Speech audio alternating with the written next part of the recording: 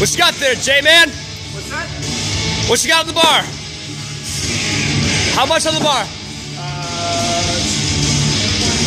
345. Cool. You up, Petey? Big breath of air in. Lock that midline, powerful and strong.